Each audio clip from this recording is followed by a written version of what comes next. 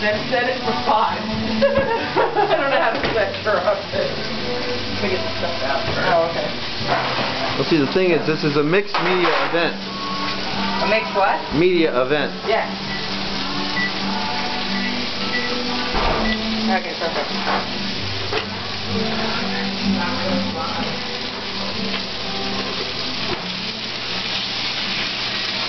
What is Damn, this product? hot.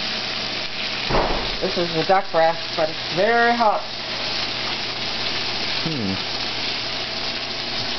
How are you cooking this breast tonight?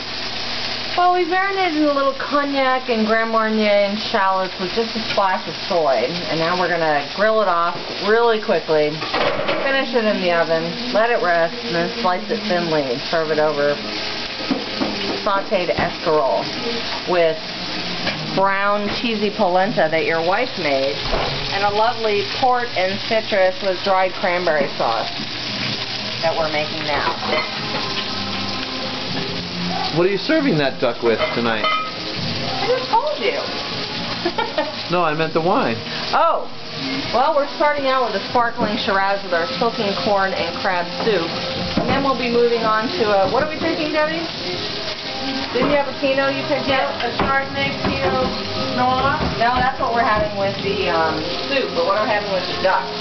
We're going to have that elder vine. Elder vine. Okay, an elder vine Shiraz. Oh, I thought that and the Barossa duck. And then we have um, an ice wine from Nova Scotia to go with our creme brulee. Yes, get the show going right now. All right then. There's no time